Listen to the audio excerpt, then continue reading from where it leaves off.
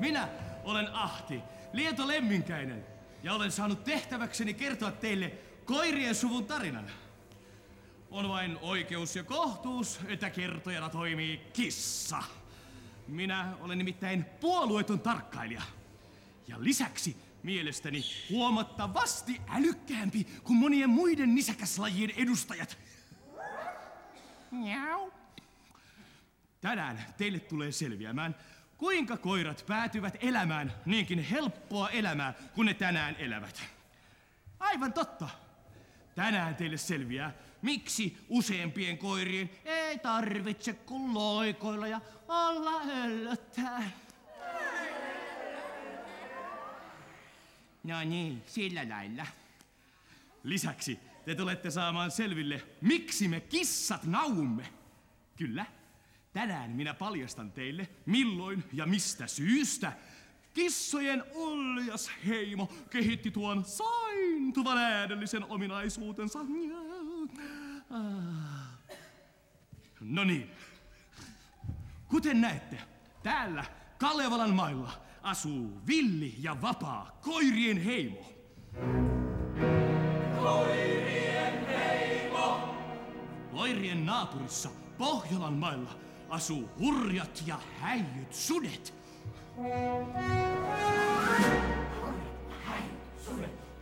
Koirat ja sudet kilpailevat metsien kuninkuudesta ja usein niiden välillä on kiivaitakin kahakoita. Mutta enimmäkseen kyllä vallitsee rauha.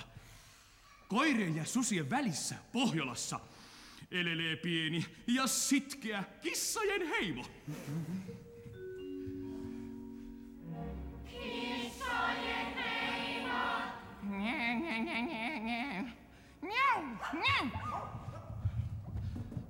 Sekä koirilla, susilla että kissoilla on kaikilla omat tietäjänsä ja velhonsa, jotka hallitsevat taijat ja loitsut.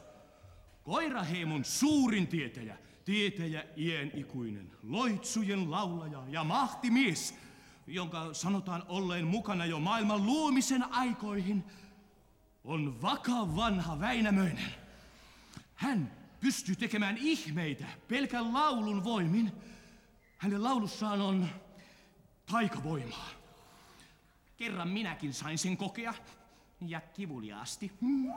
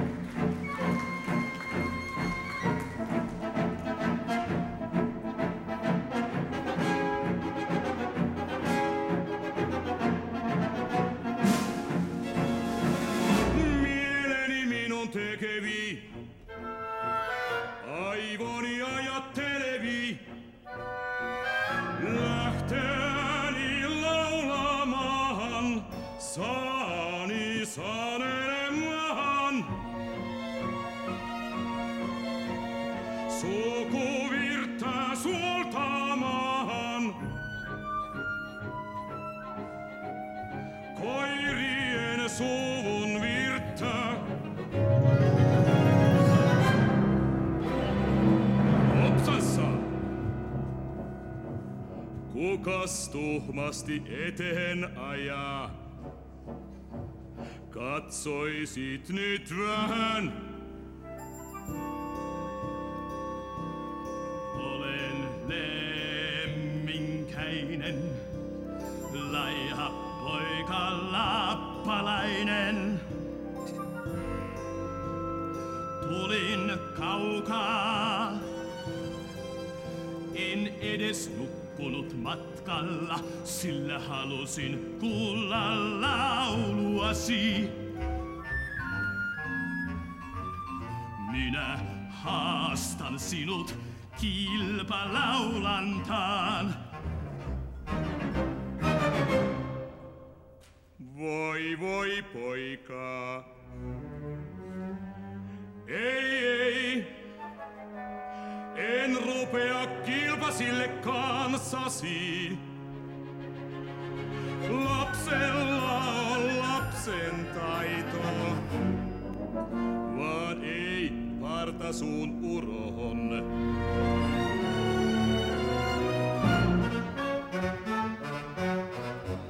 Minä pystyn muuttamaan sinut, miksi haluan, kun vain avaan suuni ja laulan.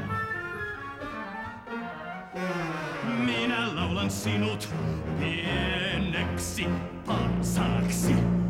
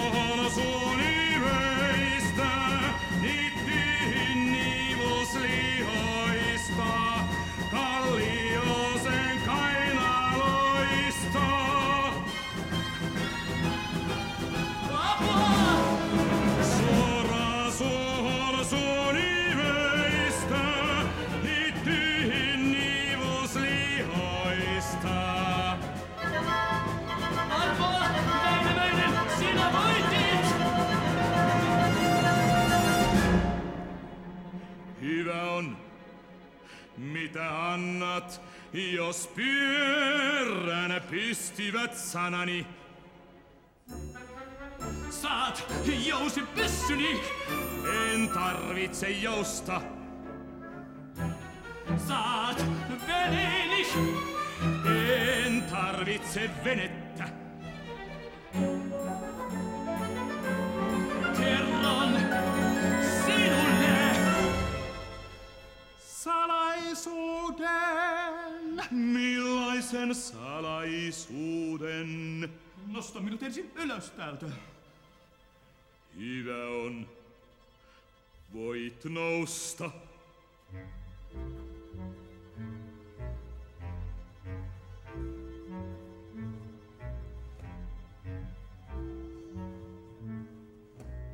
Ja nyt se salaisuus. Hyvä on. Pohjan pimeillä perillä susien sarjolassa asuu maailman kaunein neito. Hänen kauneutensa on rajaton. Hänen nimensä on Tytti ja hän odottaa kosia. Onko tuo totta? Kyllä, täyttä totta.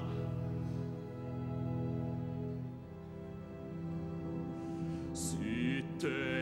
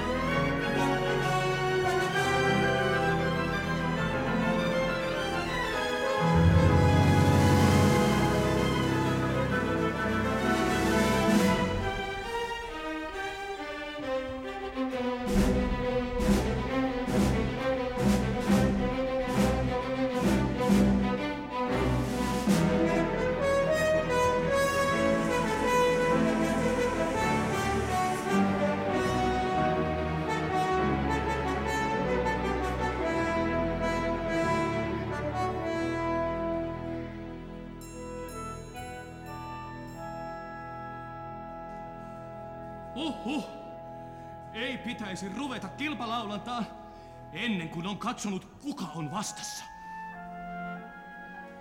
Niin lähti Väinämöinen kohti Pohjolaa, susien sarjolaa. Ja siellä häntä odotti louhi, pohjan emäntä, harva hammas.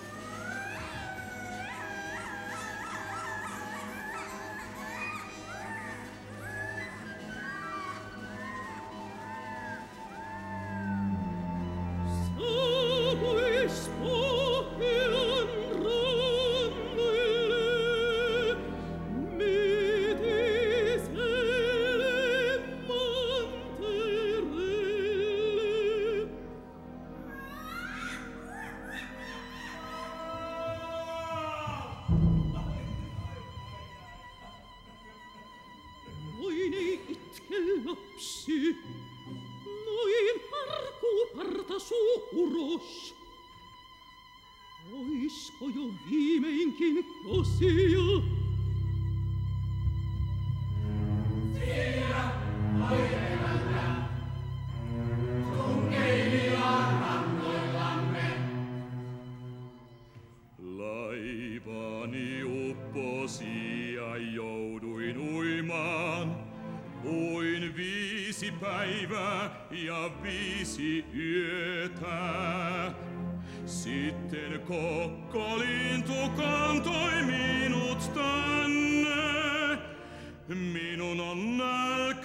Ja vilu.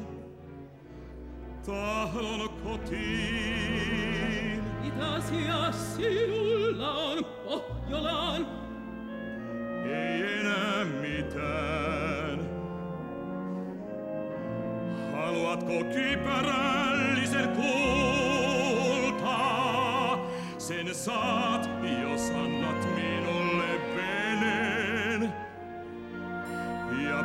Stat minut lachte man. Vitsi kulta, josta jostaut minulle sammon. Jos kilkuttelet kirjoitannen, en pääset kotiin.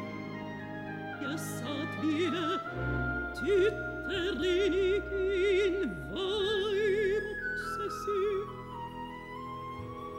Jostain.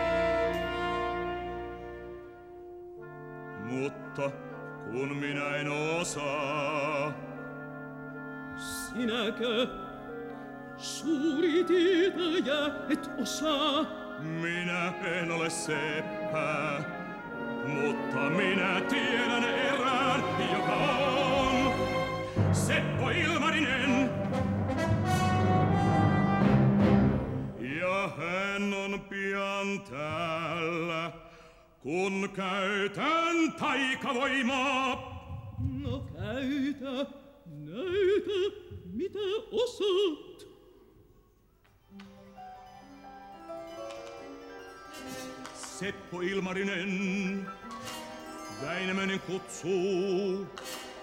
Tule Pohjolaan, susien sarjolaan.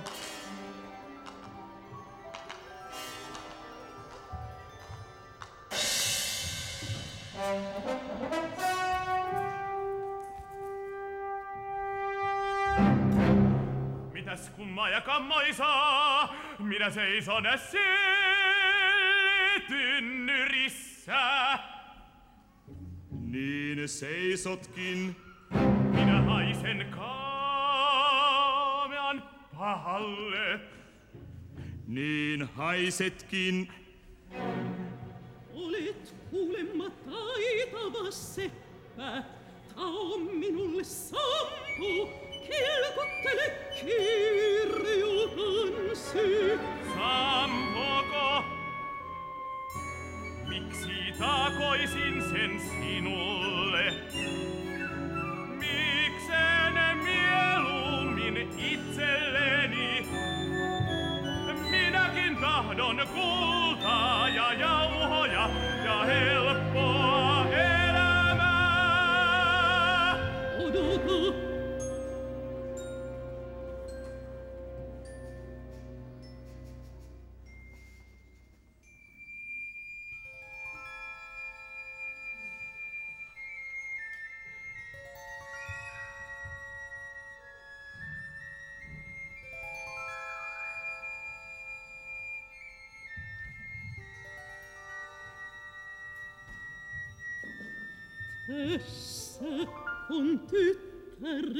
So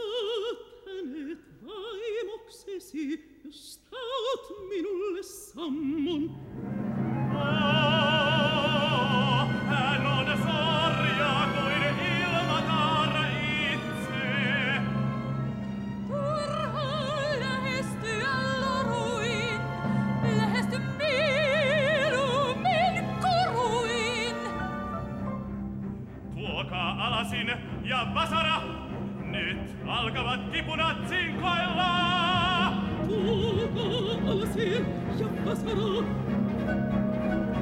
Ah, sim.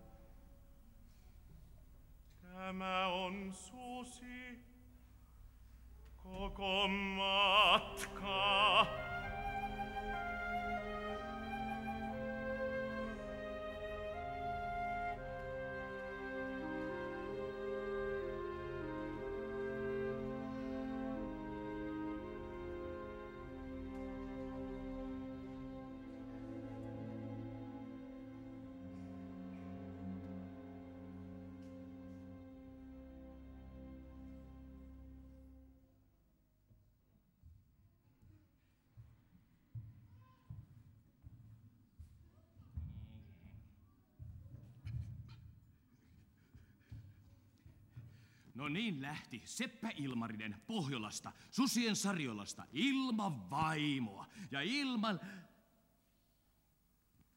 Niin.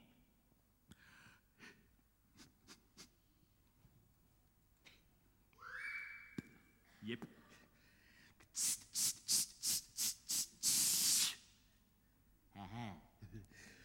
Ja ilman vaimoa sai myös lähteä vakaa vanha Väinämöinen, Kalevalan suuri loitsujen taitaja. Ei.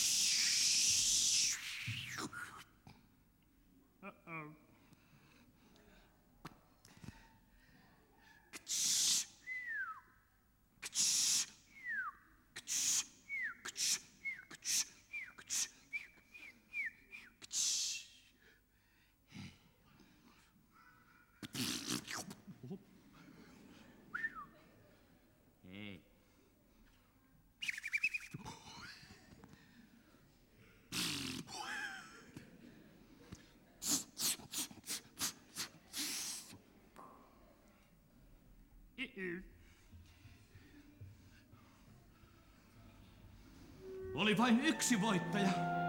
Hän oli louhi, pohjan akka, harva hammas. Ja nyt hänellä oli Sampo, vuoren uumenissa, seitsemän lukon takana. Ja sudet viettivät helppoa elämää. Äiti! Mutta muutkin olivat kuulleet Pohjolan kauniista morsiammesta. Ja tytille riitti kosioita. Muiden mukana minä.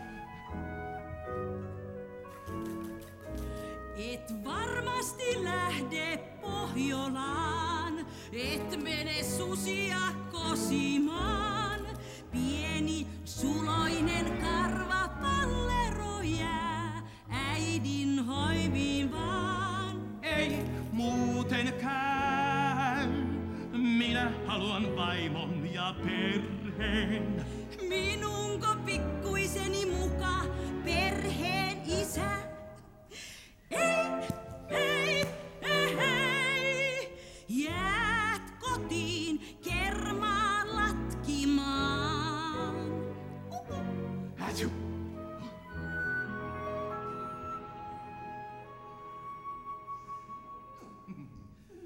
Ota rauhallisesti, äiti. Kun minä olen luvannut ihmisille, että he saavat tietää, kuinka koirien kohtaloksi tuli viettää helppoa ja vaivatonta elämää. Ja kuinka me kissat opimme naukumaan. Eikä se selviä kenellekään, ellei minä seikkaile seikkailujani. Äiti, katso. Tässä harjassani on semmoinen taika, että jos minulla ei ole mitään hätää, niin mitään ei tapahdu. Mutta jos minulla on jotain hätää tuolla suuressa ja avarassa maailmassa, niin harjani ilmestyy pisara verta. Silloin sinun on heti tultava auttamaan. Onko tämä selvä? Siis jos harjassasi on pisara verta, niin minä riennän auttamaan sinua. Aivan. Ja nyt se on sitten lähdettävä seikkailemaan. Pidä itsestäsi huolta, äiti.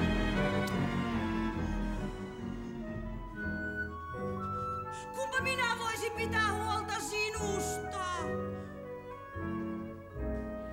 Poika on villi ja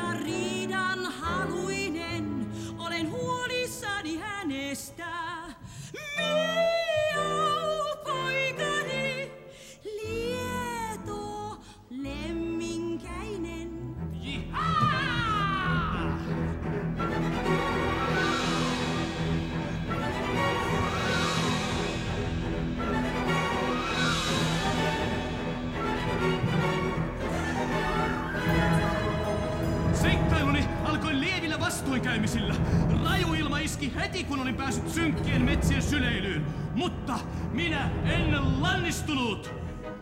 Vaik pitkä on tie, mi Pohjolaan vie. Kosion susien maille. Niin matka se maittaa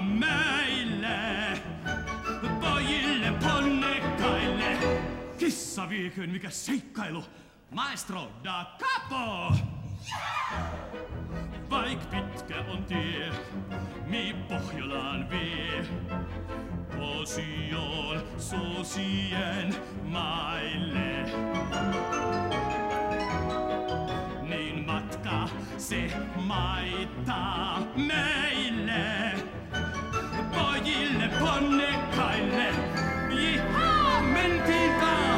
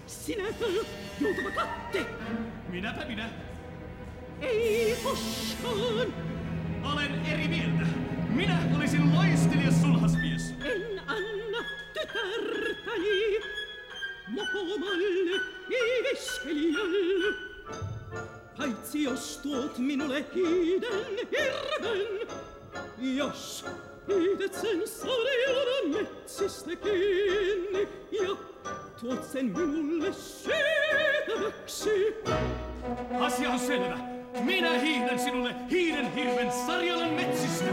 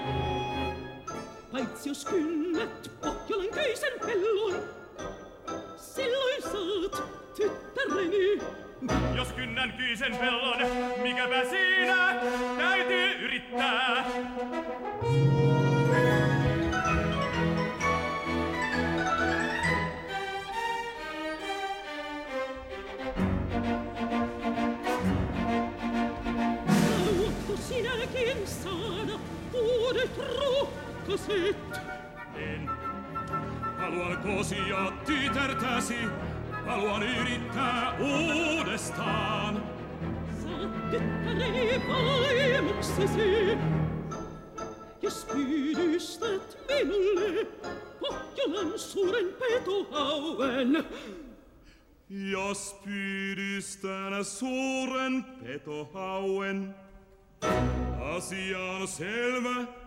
Avovedet kutsuvat.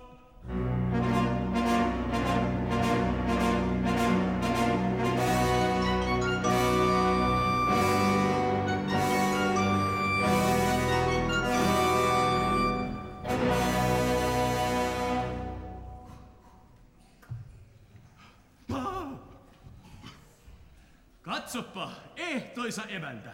Tässä on sinulle aito hiiden hirvi.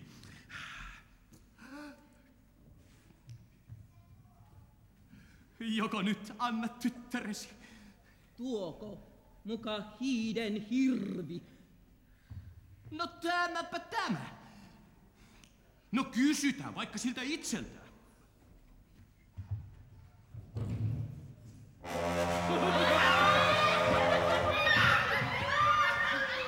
Voi pahus. Hän taisi huomata, että tein hirven itse. Pään panin pökkelöstä, sarvet tein oksanhaarukoista, seipäistä tein sääret ja keskiruumiin sammalesta ja nahkapussista. Kuulehan kissa, saat vielä yhden tilaisuuden. Hae minulle Tunelan joutsen ja tule sitten kysymään tytärtäni uudestaan. Tu Tuonella Jutsi. Asia on selvä. Minä lähden heti Tuonelan virralle.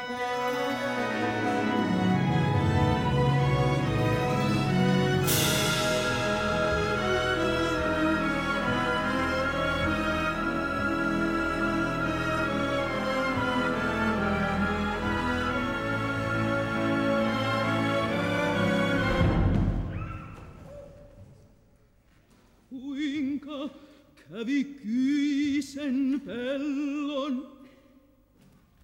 Kyllä minä sen kynsin, taoin itselleni rautaisen harniskan. Eivätkä käärmeet voineet mitään, joko nyt annat tyttäresi. Hetkinen, minunkin tehtäväni on suoritettu.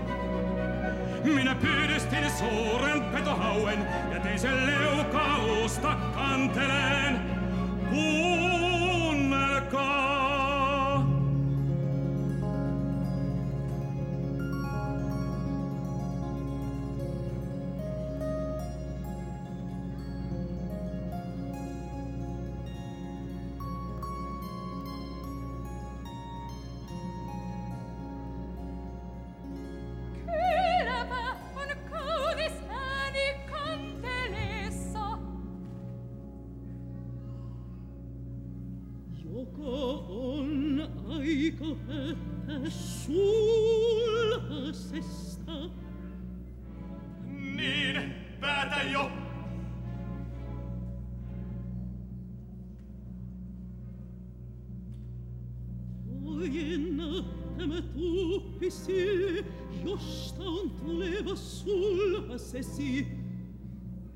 Se kissa? Minä en kissaa huoli. Minä valitsen teistä kahdesta.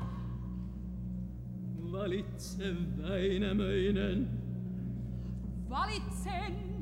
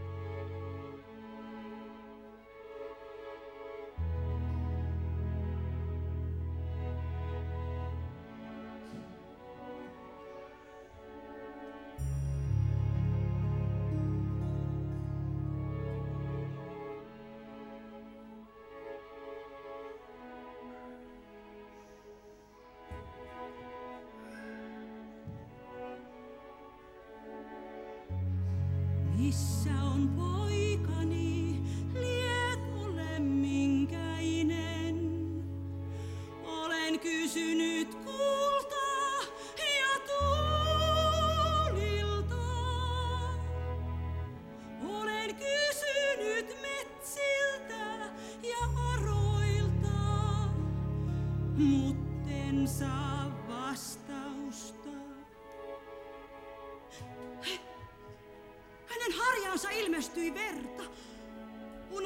pisara verta.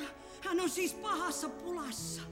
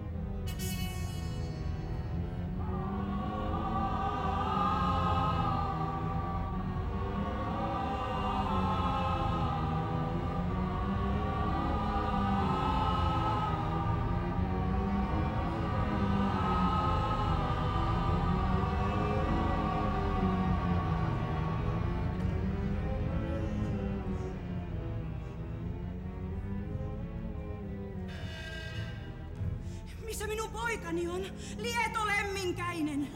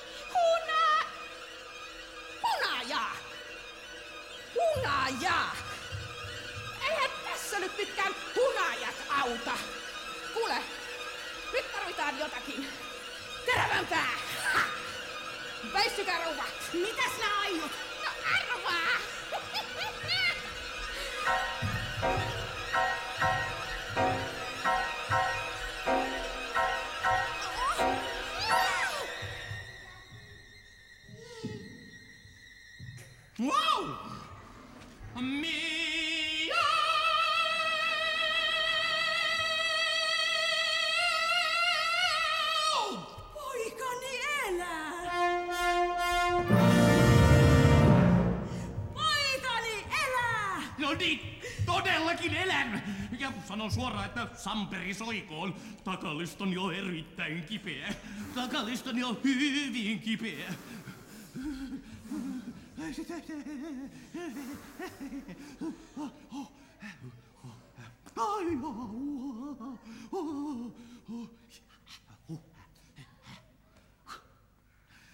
Ja siinä te saitte, hyvät ihmiset, ratkaisun ensimmäiseen salaisuuteen.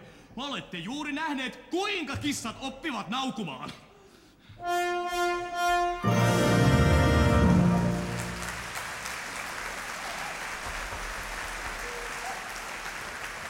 Niin et muuta kuin miau miau vaan ja kiitos kovasti. Mutta jäljellä on vielä koiria koskeva salaisuus. Kuinka koirien kohtaloksi tuli viettää helppoa ja vaivatonta elämää? Ja koska me luonnollisesti haluamme saada sen selville, minun on lähdettävä juhlimaan. No mihin sinä nyt taas aiot? Pohjola, Susi ja Sarjala. Siellä on alkamassa Tytin ja Seppo Ilmarisen häät. Ja ne ne vasta häät ovatkin. Eihän sinua ole edes kutsuttu! No ei niin, mutta ahtipoikapa lähteekin kuokka vieraaksi. Odota! Äiti tulee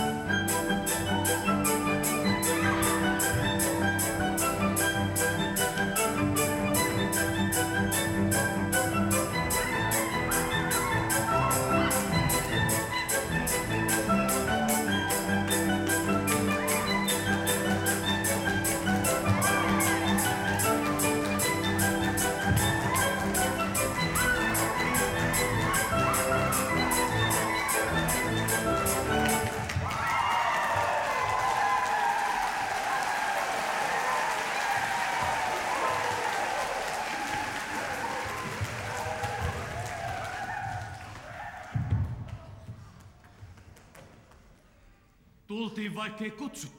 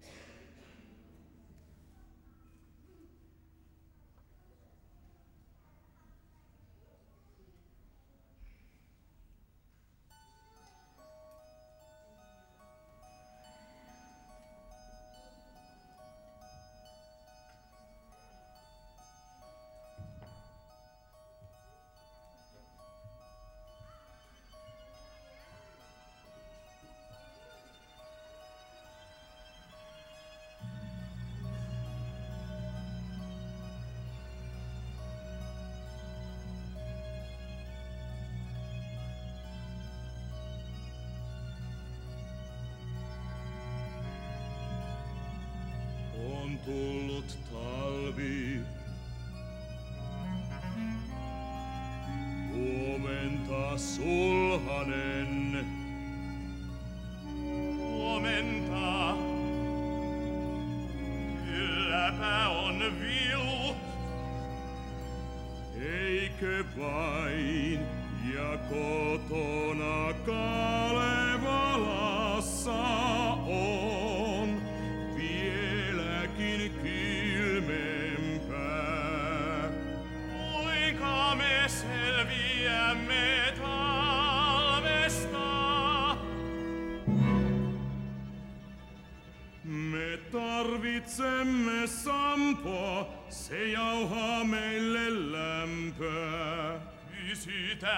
Anopilta. Ehkä hän lainaa meille pienen palan. Minkä ihmeen palan? Pienikin palanen sampoa pitää koko kylän kuumana koko talven.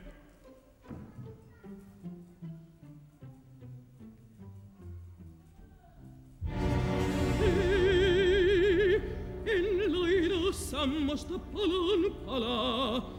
Sampo on vuoren sisällä, jos siellä se myös pysyä saa.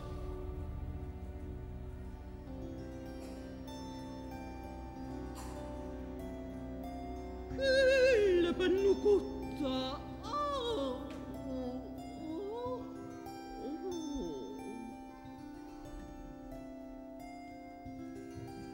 Mitä sinä teit?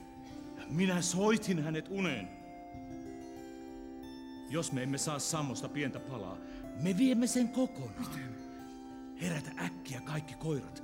Murtautukaa vuoren sisään, ryöstäkää sampo ja viekää se laivaan. Minä pidän sudet soitollani unten mailla. Asia selvä. Mm.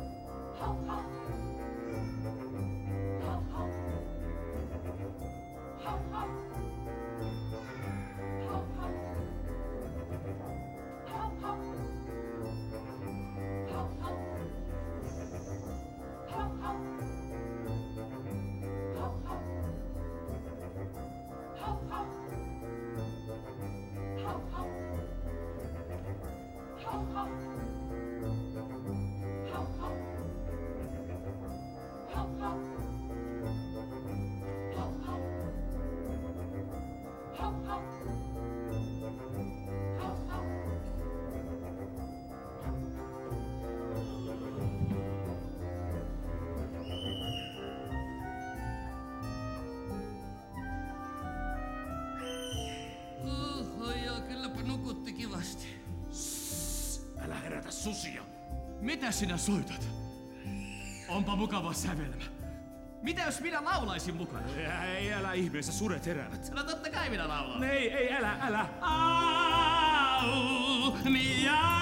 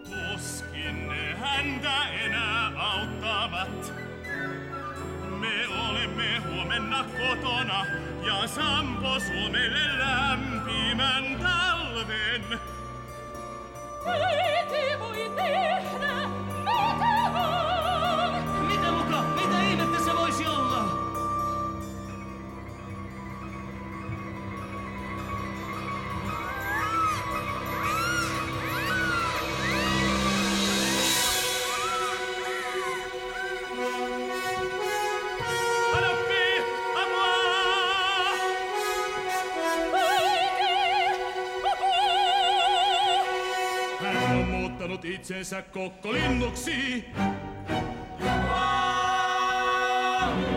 Rantakuussa loppuu heti takaisin.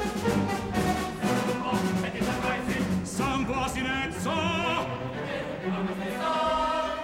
Et saa.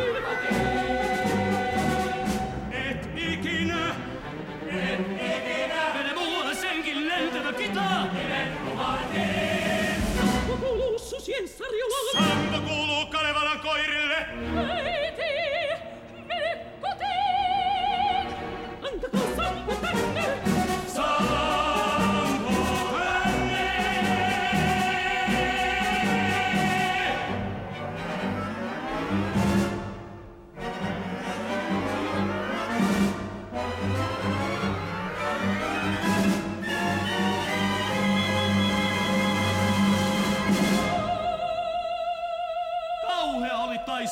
Taistelu myrskyävällä merellä.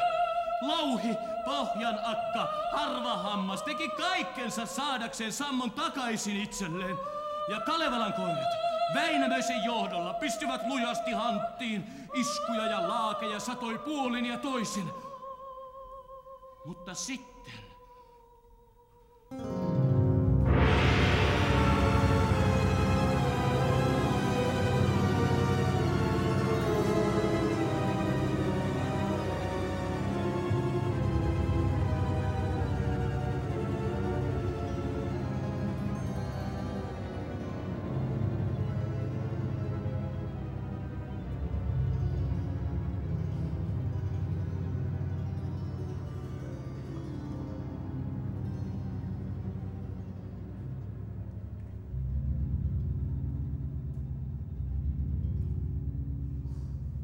Niin siinä kävi.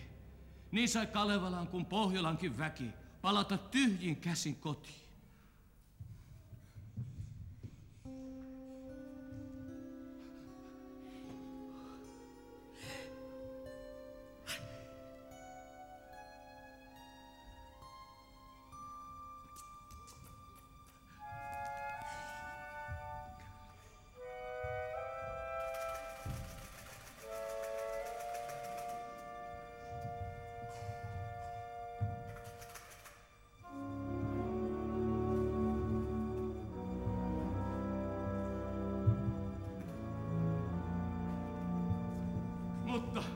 Kuinka ollakaan?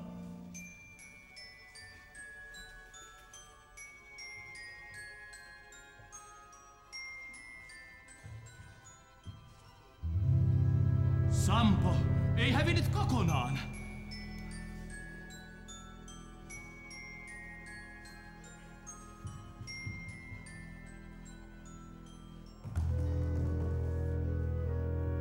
Pieniä palasia oli jäänyt kellumaan aalloille. Ja meri kuljetti ne aikanaan Kalevalan kylän rantaan.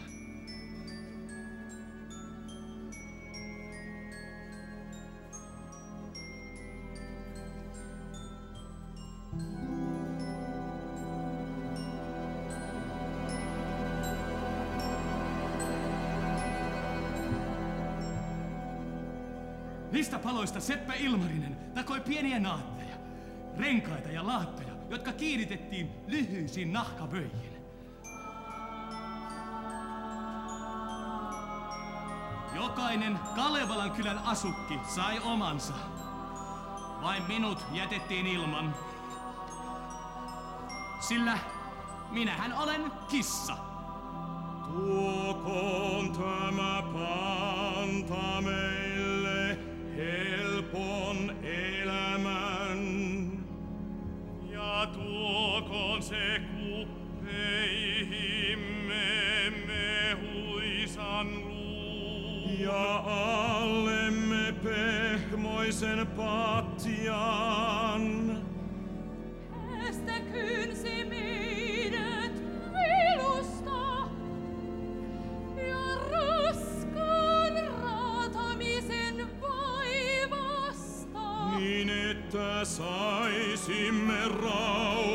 sarà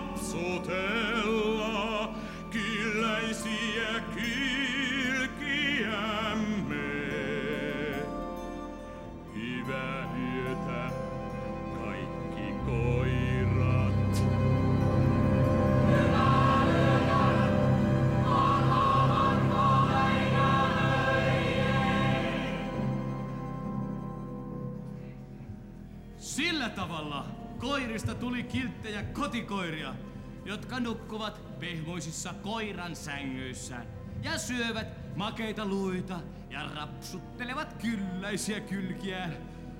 Koirat saivat sanoa hyvästit villille ja vapaalle elämälle. Minä, Ahti Lieto Lemminkäinen, en päässyt siitä onnesta osalliseksi. Onneksi!